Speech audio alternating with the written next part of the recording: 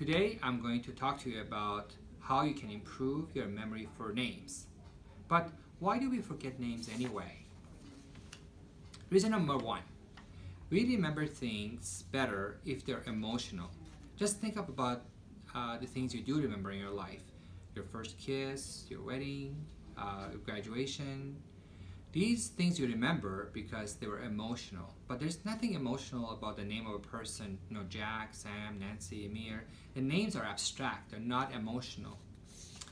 Another reason is because we think we are not good with remembering names, and so when we meet someone new, we say, we're not good with remembering names and we don't make an effort. This is a self-fulfilling prophecy we think we're not going to remember and we don't make the effort, so obviously we don't remember and we tell ourselves, see, we're not good with remembering names. Another reason is that sometimes we meet a person and we're not sure about the correct spelling of their name.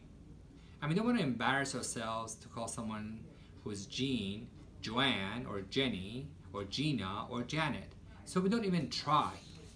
We don't try because we're not sure. So what are the solutions? How can we improve our memory for name? Well, the first thing to do is to have a positive attitude. Forget about the self-fulfilling prophecy that you're not good with names. You are good with names. And before you meet someone, start with the attitude, I will remember this person's name no matter what. I'm gonna get a check for $10,000 if I remember this person's name. The second thing is that when you meet someone new, make eye contact and be excited to learn something about them. You know, do they speak three languages? Did they just get married? Do you have a new job? Do they have three dogs? Do, you know, something about them. And by uh, learning about them, you put them in the context and you're more likely to remember their name. Then, as they introduce themselves to you, you introduce yourself to them, don't expect to have memorized their name. It's okay and it's normal to forget someone's name during the first part of conversation. So don't worry about it. When you are two or three minutes in a conversation, ask them to repeat their name. And don't worry about it, they don't know your name either. So you can just laugh about it, say, please tell me your name again. And they say Jack, say, yeah, uh, you know, I'm Majid, right? And then you move on. You make something light of it and you just move on.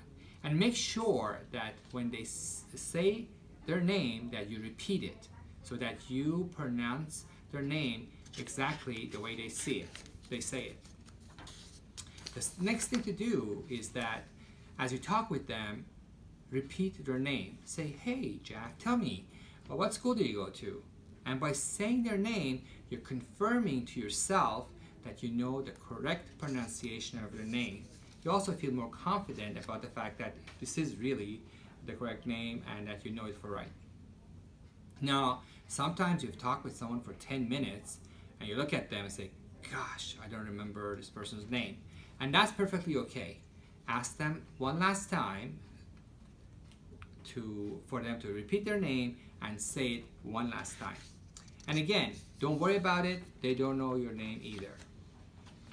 Now, the final thing to remember is that you need to be 110% sure of someone's name by the time you finish the conversation.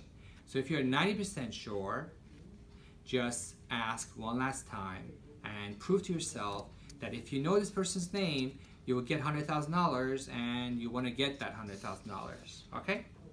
So, if you're interested in uh, practicing names, you can do it at a party. I also have a booklet called Remember Me, and this booklet is available for free on our website, www.neurogrow.com slash patient education.